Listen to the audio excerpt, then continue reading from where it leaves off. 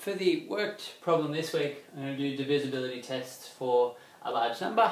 In this case, um, let's see, the number is uh, 681,132,582. So let's work through each of these tests.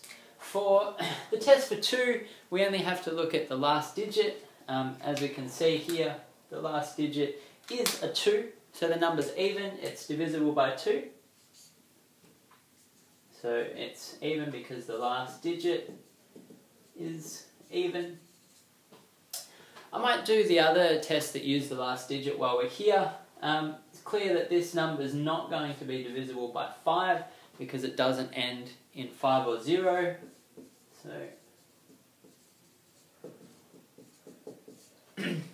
and also um, it's not going to be divisible by 10 because it doesn't end in 0.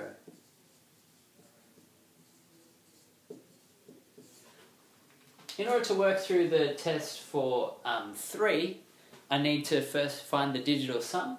So I find this by adding all of the numbers together. In this case I get 6 plus 8 is 14, 15, 16, 19, 21, 26, and then 34, 36.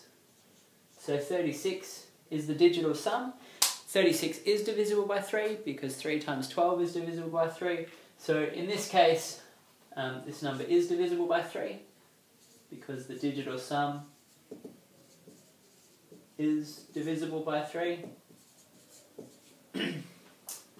um, next we move on to the test for 4. So, you know, with 2, 5 and 10, all of those numbers go evenly into 10, which is why we only need to look at the last digit. With the 4, we need to look at the last two digits because 4 goes evenly into 100, but it doesn't go evenly into 10.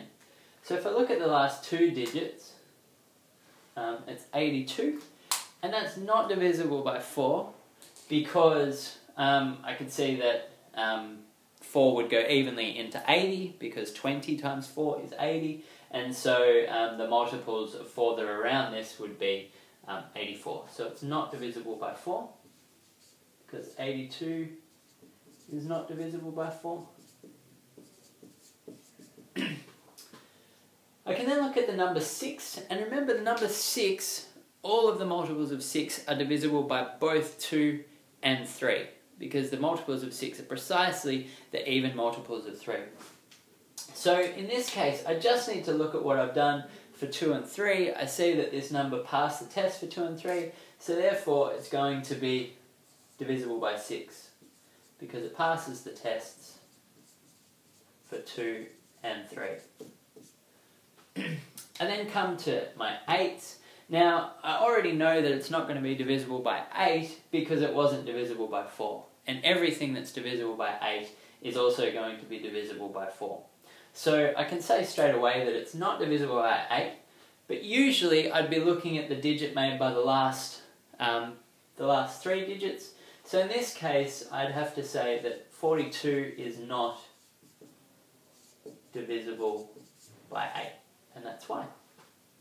And then for the last test, um, I'm looking at whether or not this is a multiple of 9, and I know that for multiples of 9, the digital sum is, again, divisible by 9. So it's similar to the test for 3, and we can reuse the digital sum that we've already worked out. And in this case, 36 is also divisible by 9, so I can say that it's divisible by 9 as well.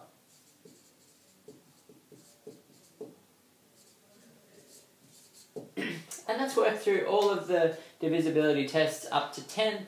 Uh, we haven't included 7 because the test for 7 um, takes as long as long division, but you might want to look that up. Anyway, okay,